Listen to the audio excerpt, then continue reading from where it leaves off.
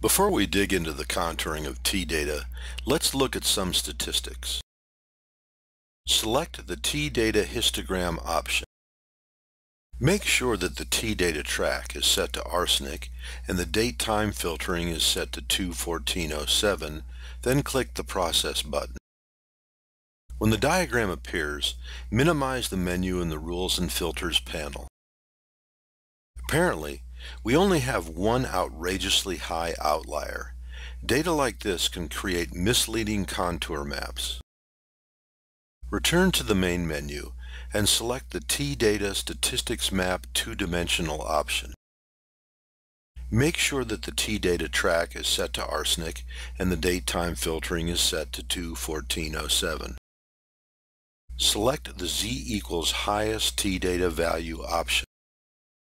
Set the output grid to arsenic underscore 2 underscore 14 underscore 07.rwgrd. Click on the Gridding Methods Options button.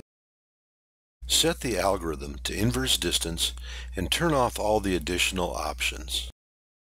Click the Process button. Notice how large the 400 ppm anomaly is. Go back to the gridding options turn on the logarithmic option, and reprocess the data.